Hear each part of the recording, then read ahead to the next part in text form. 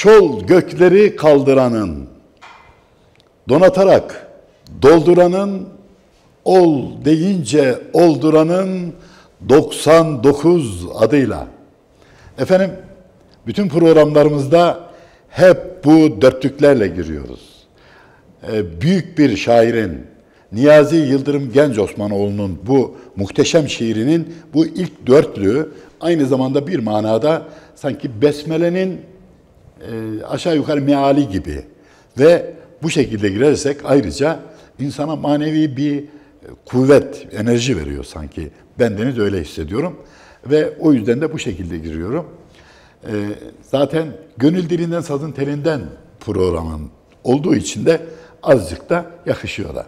Efendim, Türk Haber Televizyonu'nda her hafta çarşamba olduğu gibi bu çarşamba da akşam bu özellikle e, korona belası yüzünden herkesin aşağı yukarı evinde olduğu bu saatte sizlere güzelce bir zaman geçirtmek için ve hiç tahmin etmediğiniz konu ve tahmin etmediğiniz güzellikteki insanlarla huzurlarınızda oluyoruz.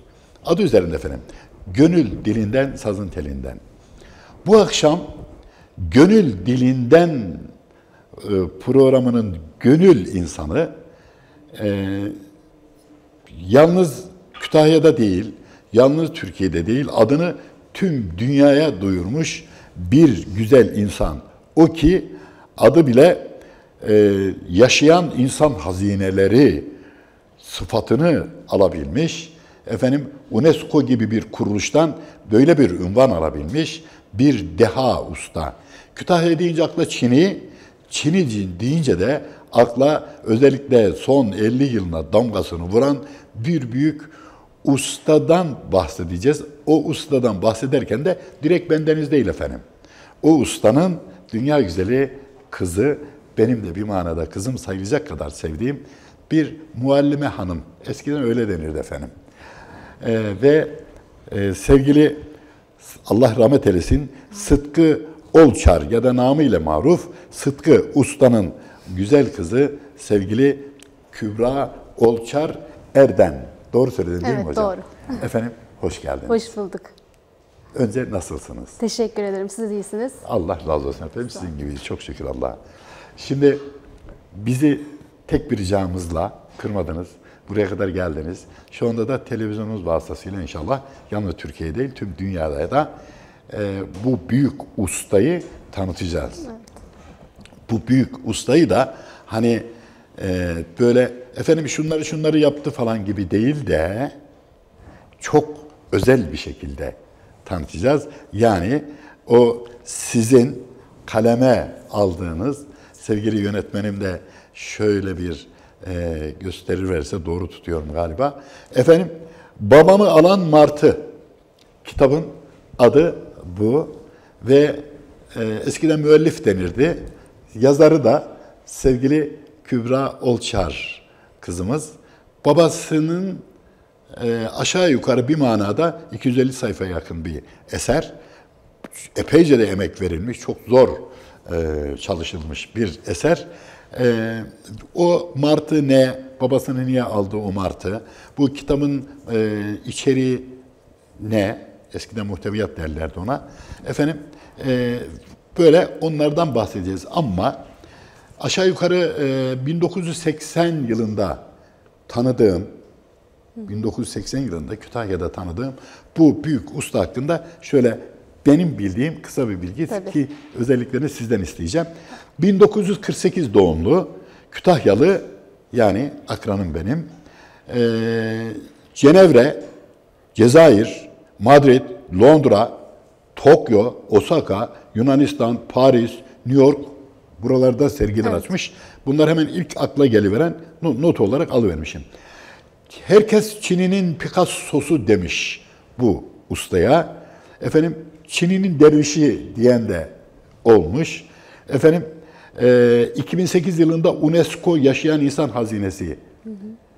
Ama en büyük özelliğini söyleyeyim işin o tarafı. Hayatımda tanıdığım en mütevazi insanlardan biriydi. Allah rahmet eylesin. Hı. Kütahya'da uçurtma şenliklerinde bana da görev vermişti. aşağı yukarı 40 sene falan önce. Efendim e, jip rallileri, motor yarışları, Frik Vadisi'nin bilhassa tanıtım için neler neler yaptı ve e, maddi manevi her kültürel etkinliğe mutlaka damgasını vuracak kadar bir ustaydı.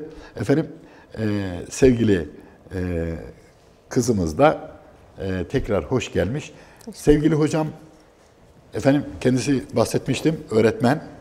E, o yüzden hocam, ısrarla hocam diyorum. E, önce tanıyalım efendim sizi. Tabii. e, 1986 Kütahya doğumluyum. E, liseyi Güzel Sanatlar Lisesi'nde resim eğitimi alarak tamamladım. Daha sonra yine Dumlupınar Üniversitesi'nde grafik tasarım bölümü okuyarak üniversiteyi tamamladım. E, babamın mezun olmamla birlikte babamı kaybettik.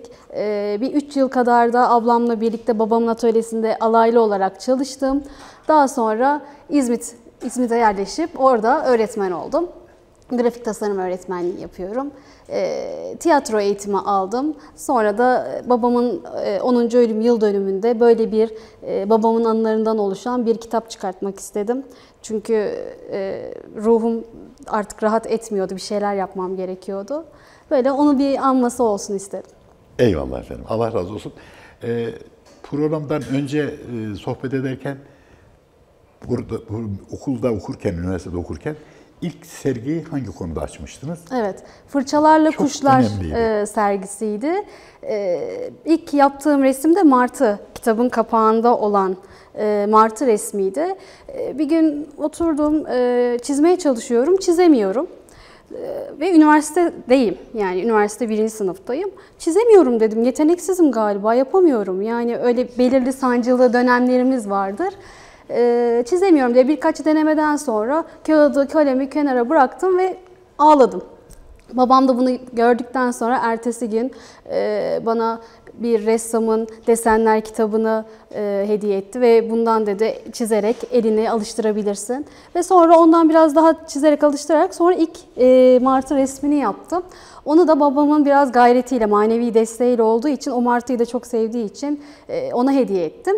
Ondan sonra da e, 20 çeşit kadar e, kuşun resmini çizerek Kütahya Dumlupınar Üniversitesi'nde grafik tasarım öğrencisi olmama rağmen bireysel ilk e, yağlı boya resim sergisi açan kişi oldum. Asıl dikkat çeken de oydu Evet. da hocam. O yüzden sordum Evet. o soruyu da.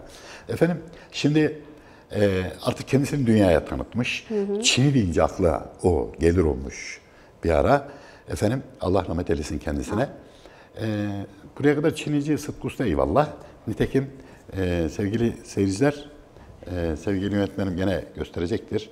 Geçmişten Geleceğe Esintiler adlı kocaman bir eser.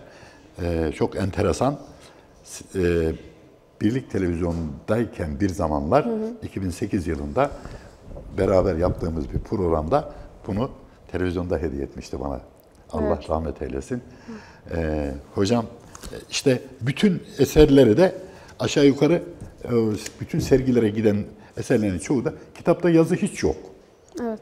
Çalışmalı. Baştan başa ustanın kendine has e, eserleri tekrar rahmet diliyoruz. Şimdi buraya kadar usta e, Sıtkı, iyi de baba Sıtkı nasıl bir adamdı? E, insani değerlerinden şöyle kısaca bahseder misiniz? Tabii. e, babam bir kere bence bir insanda olması gereken en önemli özelliklere sahipti.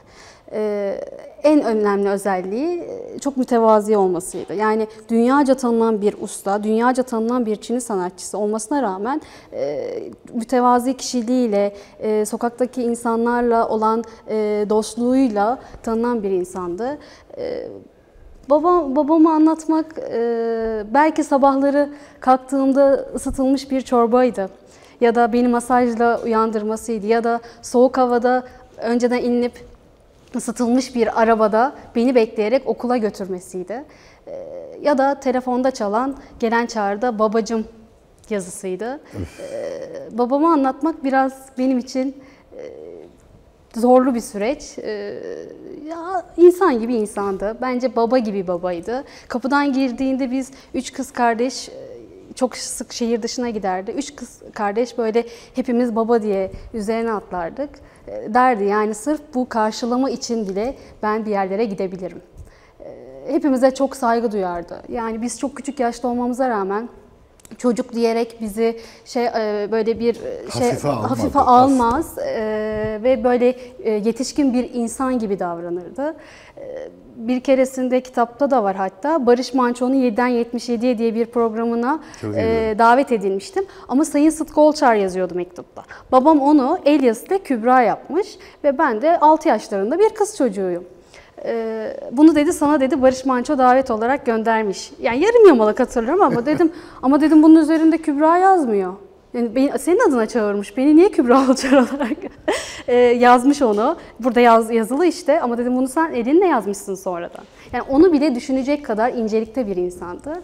Ee, dediğim gibi o gittikten sonra çok fazla eksiklik e, oluştu. Eyvallah. O eksikliği tamamlamaya çalışıyoruz. Eyvallah. Şimdi sevgili seyirciler, e, dedim ya benim çok çok samimi bir dostumdu. E, daha doğrusu merhaba dediği herkesi herkesi en yüksek seviyede tutardı. Yani dağdaki çobandan ondan bir merhaba dediyse o dağdaki çoban en samimi arkadaşı benim diye düşünür. Efendim bendeniz e, yani 40 yıl beraber arkadaşlık yaptık. Bana sorarsanız en samimi arkadaşı benimdir. Efendim e, sevgili Kübra'ya sorarsanız en samimi arkadaşı odur. Bunun gibi. Hasılı şimdi e, onun tanımadığı halde e, e, Sıtkı Usta adına e, bir sempozyum yapılmıştı. Evet. E, belli bir yerde ad vermiyoruz. Efendim e, orada büyük tesadüf emekli bir albay arkadaşım beni ziyarete geldi. Ben de oradayım o e, ustanın huzurundayım o anda ve e, dedim böyle böyle tanımıyor. Sıtkı Usta'yı tanımıyor ama Sıtkı Usta'ya şiir yazmış 25 sene önce. Ve orada e, Allah razı olsun o şeyin e, moderatör diyorlar ya. Moderatör okudu. Efendim nereye getirmeye çalışıyorum sözü? Vefatının vefatında e, Allah rahmet eylesin. Cenazesinin gaslinde bile bulunma şansına sahip oldum ben. Ve işte defnedildikten ertesi gün belki günlerce tesirinden kurtulamadım. Çünkü çok çabuk bir vefat şekliydi. Allah rahmet eylesin. Hemen ertesi gün bir şiir kalemi almışım. Efendim onu da e, tabii bir kağıda yazdım. Sizin huzurunuzda okuyacaktım. Hazırladım. Sonra e, maalesef şimdi bunu da e, o kitabın logosuyla beraber sevgili e, hocama hediye etmek için hazırladığım bu çerçeveli şiir e, hesapta yoktu. Buraya geldik, program başlayacak. Baktım benim şiirim yok. Yani ben de buradan okumak mecburiyetindeyim. Başlayın lütfen. Şöyle demişim efendim. Çin'inin Picasso'su demişti tekmil dünya. Sevmeyi öğrenmişti, bize de aşıladı. Sıtkı Usta adına selam durdu Japonya, saygıyla anılırdı İngiltere'de adı. Yalnız Kütahya değil, ülkemi de tanıttı. Sanatta biz de varız dedi cümle aleme. Kütahya'dan evrene dev gibi bir adım attı. Hizmeti öyle büyük, sığmaz kağıt kaleme. Dünya malına tamah etmedi. Şükür varken Kütahyam ve Türkiye'm bana yetiyor dedi. Evliya Çelebice dünyayı turalarken kendi ebediyette sanat kaldı ebedi. Fakir fukara dostu herkese duyar minnet. Hiç öfkeli görmedim, yüzü hep öldü gitti.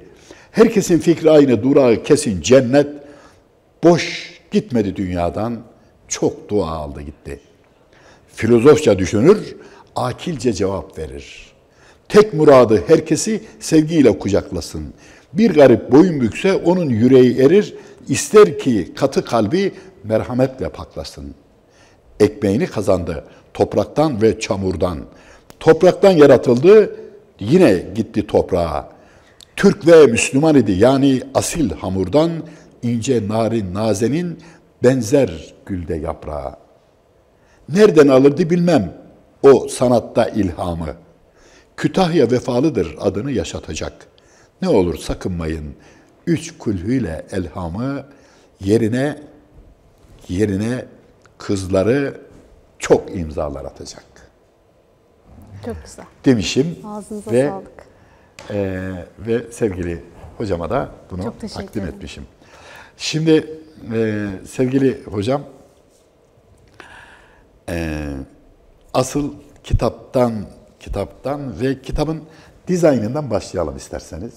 Yani e, üzerinde lale var ve martı var her şeyden önce. Nitekim adını nereden buldunuz? Kitapta elinizde olarak anlatır mısınız efendim? Şimdi e, babamın son zamanlarında hastanedeyken camın önüne bir sürü martı geliyordu. Bir tanesi e, daha farklıydı o martının ve e, o martıdan yola çıkarak ben bir yazı yazmıştım onun ölümünden sonra. Ve o yazıdan o yazı benim belki de dönüm noktamdı. O yüzden bu yazının e, başlığını kitabımda kullanmak istedim. İçerisinde benim babamın ölümünden sonra 10 yıl boyunca yazdığım hikayeler, e, babamın yazmış olduğu yazılar e, ve e, babama yazılan, dostlarımdan yazılan yazılar mevcuttur. Çünkü kitap 4 bölümden oluşuyor. E, bir Sıtkı, bir Usta Sıtkı, bir Baba Sıtkı e, ve bir Dost Sıtkı olarak. Ve e, tasarımında da kapak tasarımında da babamın e, babama yapmış olduğum martı resmini kullanarak ve lale çizimlerinde benim e, bölümüm olması gerekiyle okuduğum, eğitimini aldığım grafik tasarımını, kapağın tasarımını ben yapmak istedim. İç dizaynı da bana ait. E, çünkü hani başkasının eline vermek istemedim e, tasarımını. Çok iyi, E, bu nevi çok benim için daha özel ve anlamlı bir kitap oldu. Eyvallah.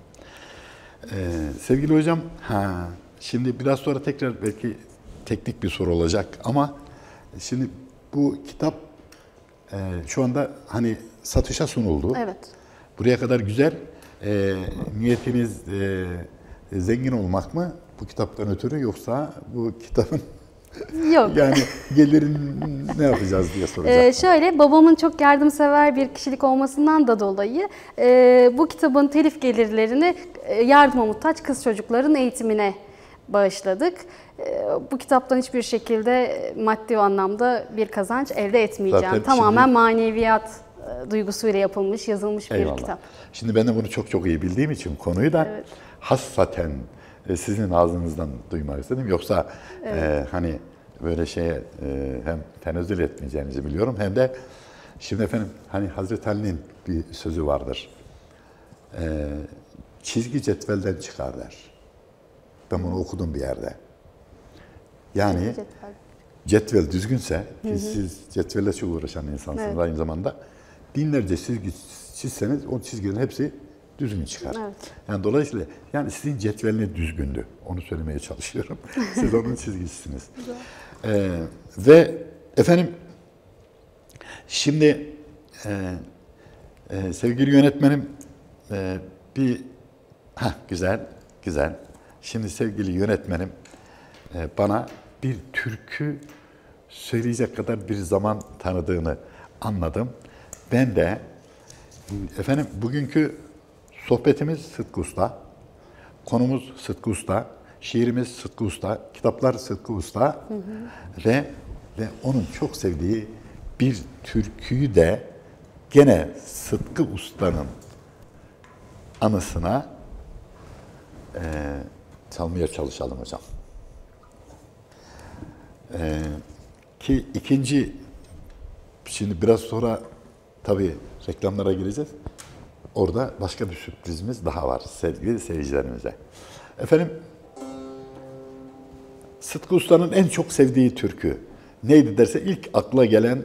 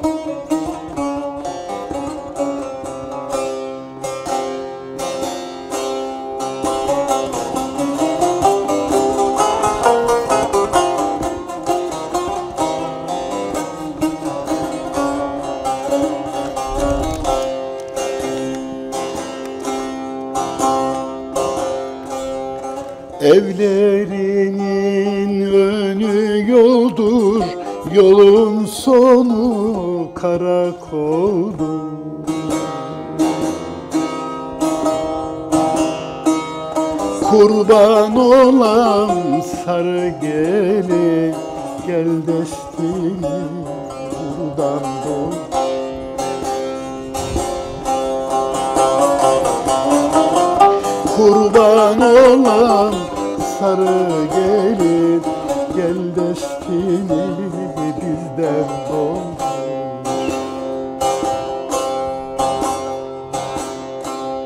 Al Fadimem, bal Fadimem Yanakları gül Fadimem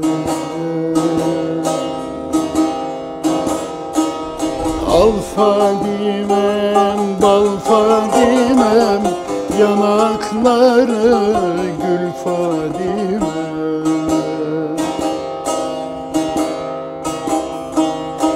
Uyan uyan sabah oldu.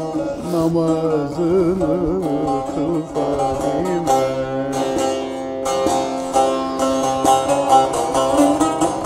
Uyan uyan sabah oldu.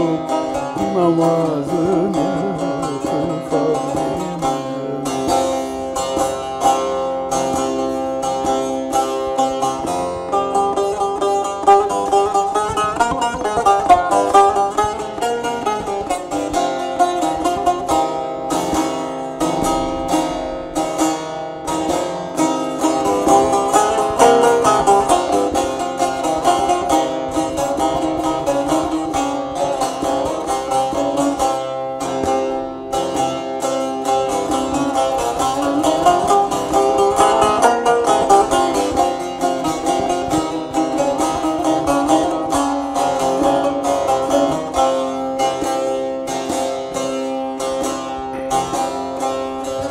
Şu dağların burcu musun? Yar boynumun borcu musun? Kurban olam sarı gelin Sen çirkinin harcı mısın? Kurban olam Sen kötünün harcı mısın? Al Fadime, bal Fadime Yanakları gül Fadime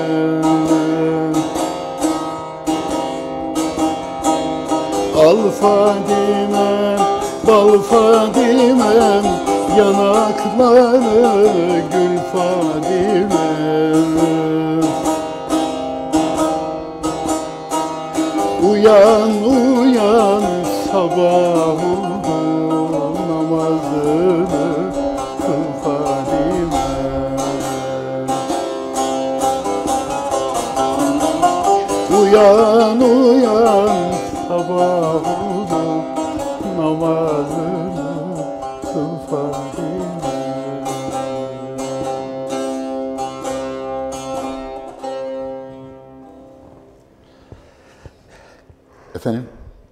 kısa bir ara vereceğiz.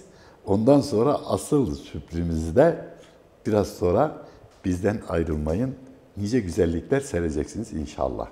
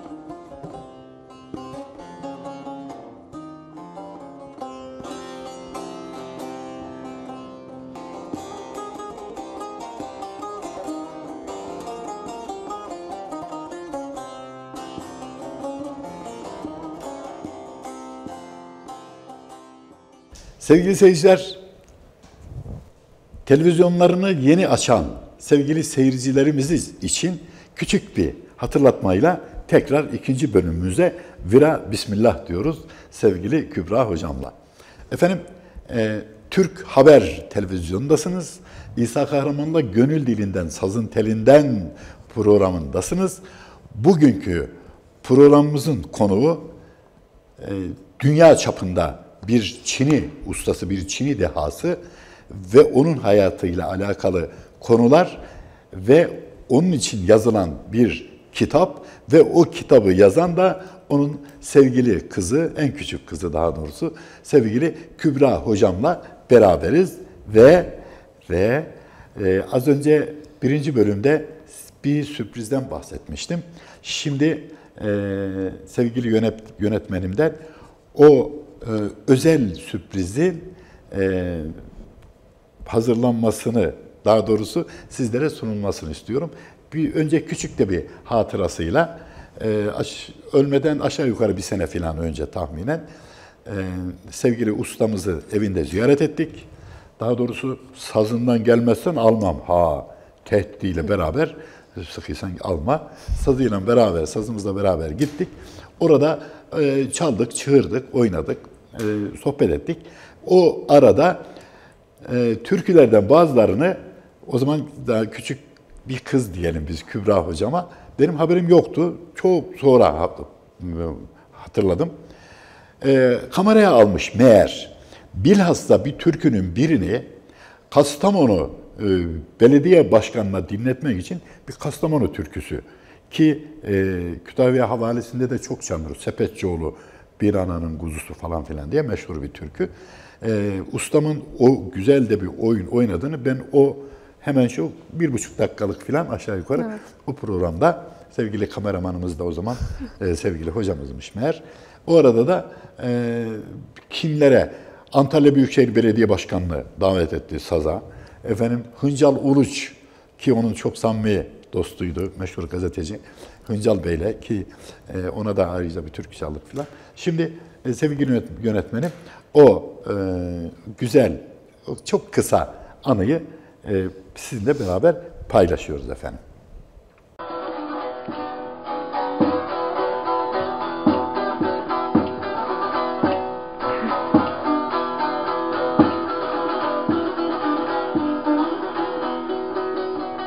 Kalk gidelim kışlığın aşağı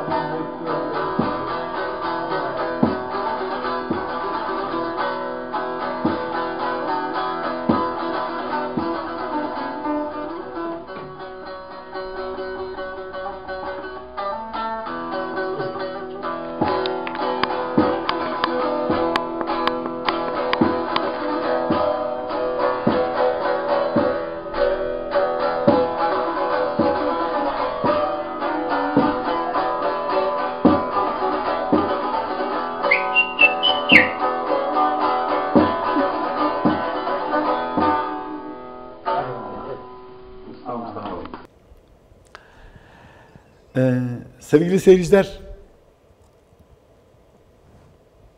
kitaba adını veren ki e, babamı alan Martı, sevgili hocam e, anlattı e, detayını da. Ama onun bir gazetede kaleme aldığı, onunla ilgili bir yazıyı sevgili hocamdan hem daha öne çıkması açısından kitabın, hocam o yaz, yazdığınız yazıyı okur musunuz lütfen? Tabii seve seve. Buyurun efendim.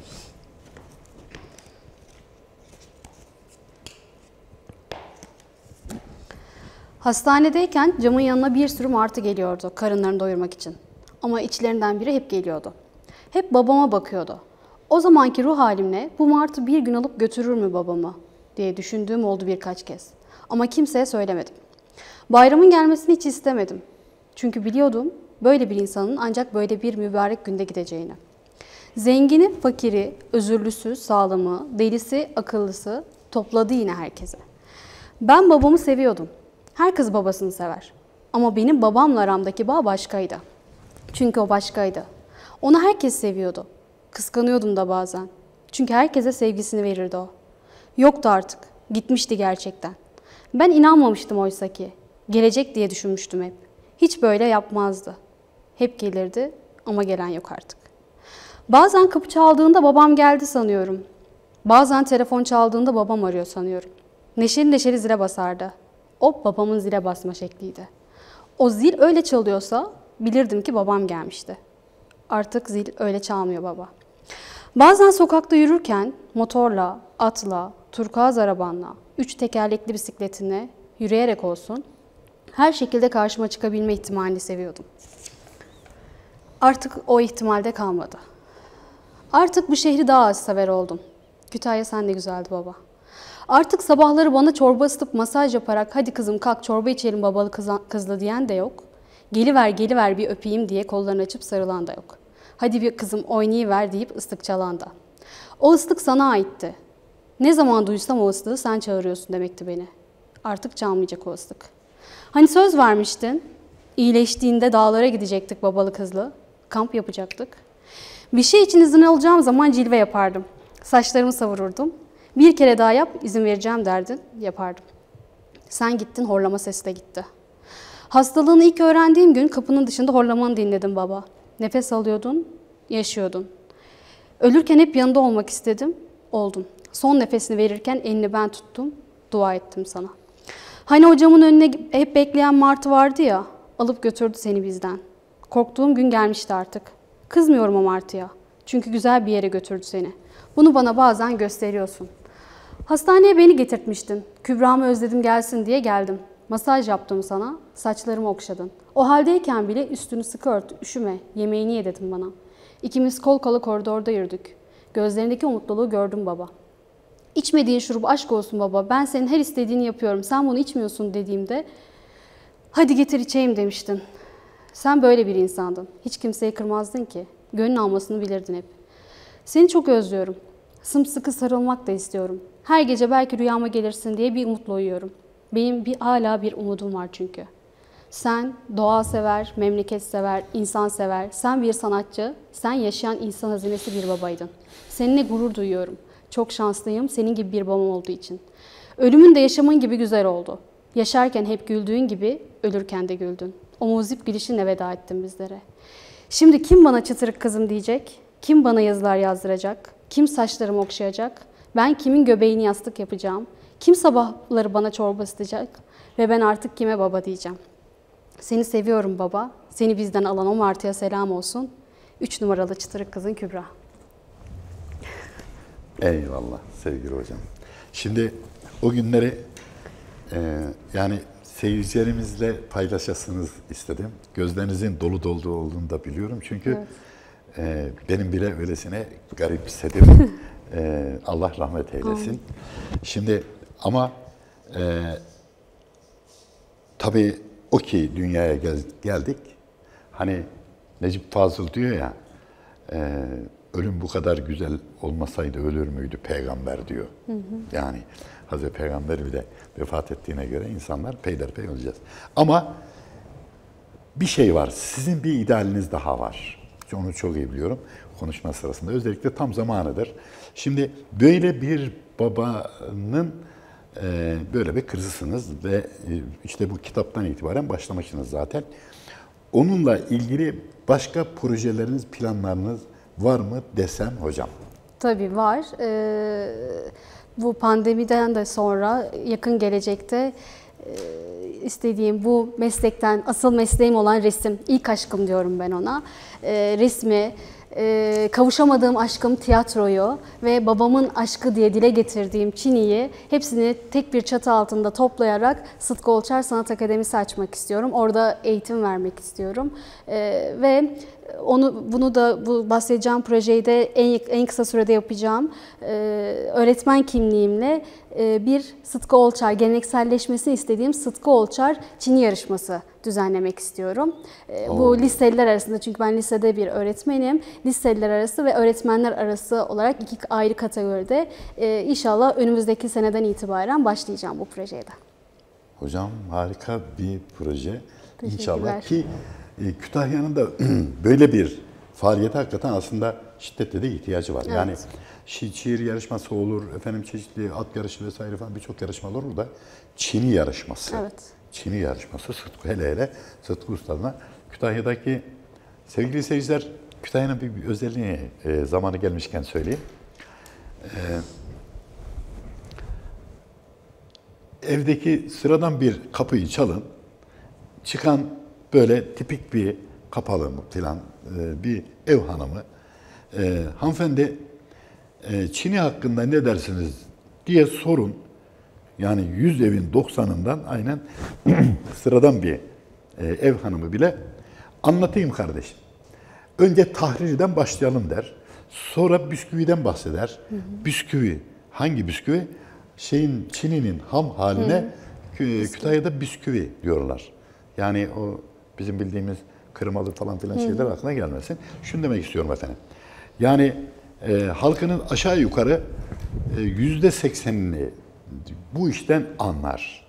Dolayısıyla nitekim e, Kırşehir'e bir davet, birkaç sene önce bir davet ettiler.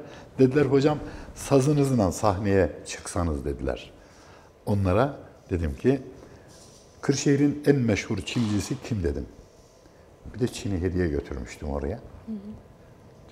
Bana baktılar. Cevap yok. Dedim Neşet Ertaş'ın memleketine sazına gelecek kadar saf değilim. Çünkü ben dedim Çin'in memleketinden geliyorum.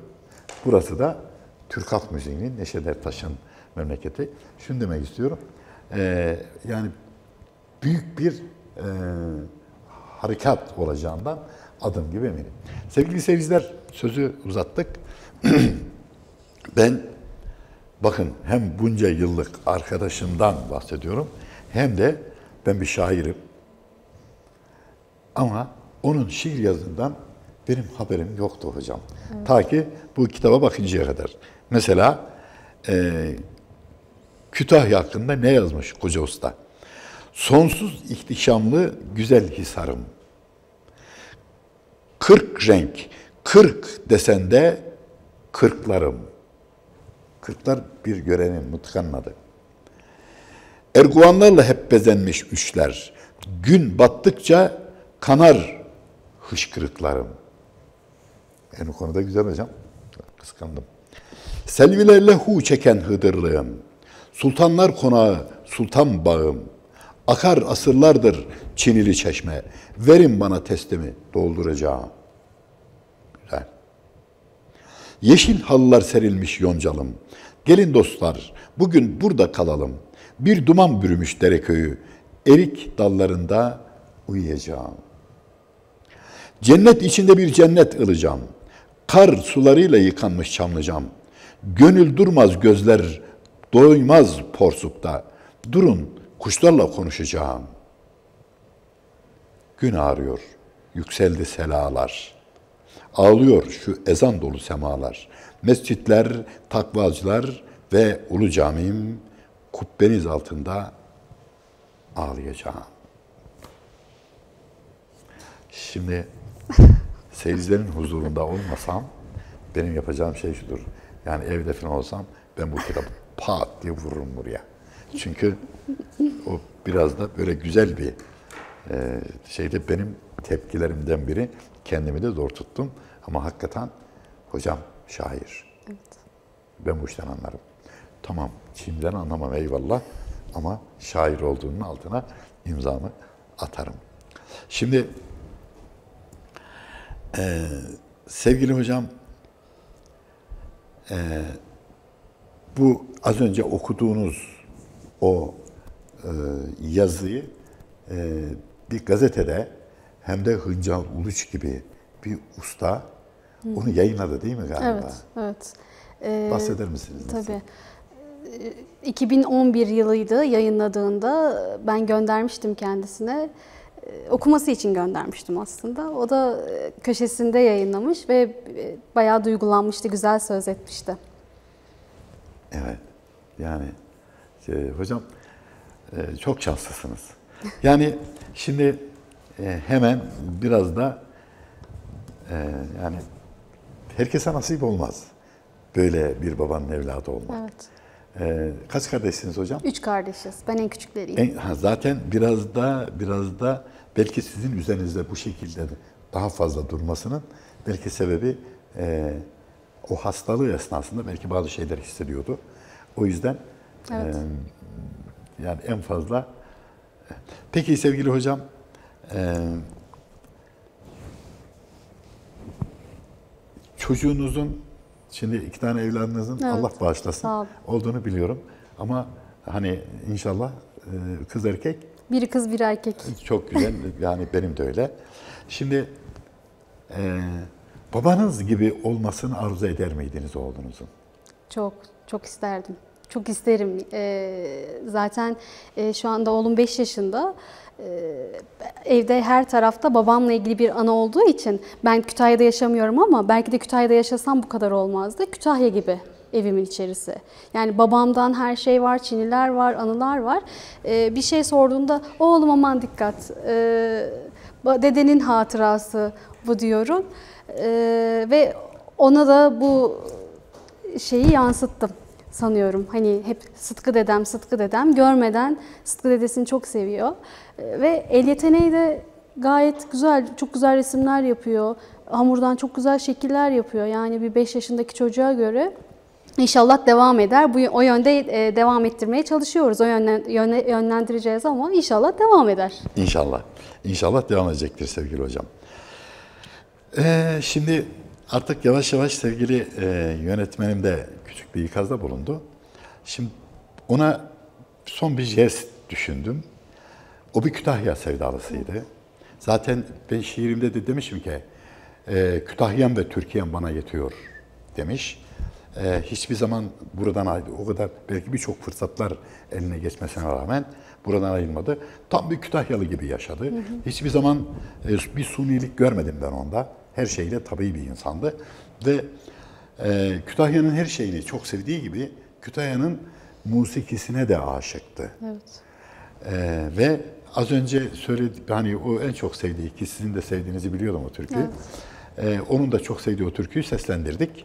Şimdi onun çok sevdiği Kütahya ve onun çok sevdiği bir Kütahya'nın pınarlarıyla biz sevgili seyircilerimize veda edeceğiz ama e, ondan önce son sözler olarak neler söylersiniz sevgili hocam? Gerek bu konuda gerekse seyircilerimize hatta hatta hatta şunu bile söyleyebilirsiniz e, ki ben söyleyeceğim ama Tabii. sizin ağzında bilhassa şu korona ile alakalı e, hemen tek bir cümleyle veda ederken buyurun efendim. Ee, Ben bu kitabı çıkartarak üzerimdeki o ağırlığı biraz olsun hafiflettiğimi, içimdeki boşluğu biraz olsun e, doldurduğumu düşünüyorum. Belki de herkesin e, kötü olarak anacağı koronayı e, ben fırsata çevirdim.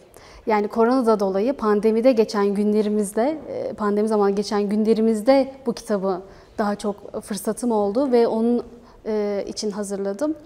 O bana fırsat oldu. Pandemiyi fırsata çevirdim öyle söyleyeyim.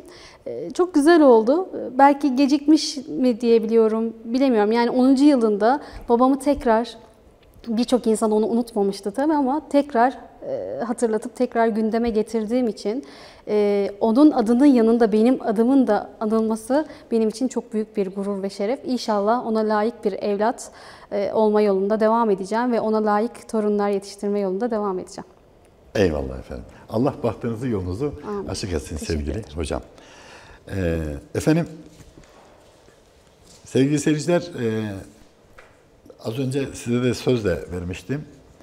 E, bu e, programımızın en sonunu bir türküyle e, bağlayacağız. E, ve o o arada da küçük bir, tek bir cümle söyleyeceğim. Ee, koronanın en çok sevdiği şeylerden biri tütünmüş hocam. Sigara içenleri çok seviyormuş. Evet. O yüzden bendeniz çok uzun yıllar önce bıraktım. Ee, tavsiyemdir. Ee, son derece basit. Bıraktım dediğiniz an bırakılıyor. O yüzden Kütahya'nın o kendine has doğasıyla sizde eyvallah diyeceğim. Diyor ki eviniz ve gönlünüz şen olsun. Rabbim dualarınızı kabul eylesin diyorlar. Bu programın size intikalinde sevgili Hüseyin Gürman, Onur Yetkin, Sinan Başalan, Mehmet Kaçan ve sevgili Ali Gül kardeşlerime çok çok teşekkür ederken e, sözümüzde duralım ve Kütahya'nın artık herkesin bir manada e, bildiği o türküyü e, bir de ustamızın hatırına çalalım. Allah'a emanet olun. Bir sonraki programda inşallah beraber olacağız.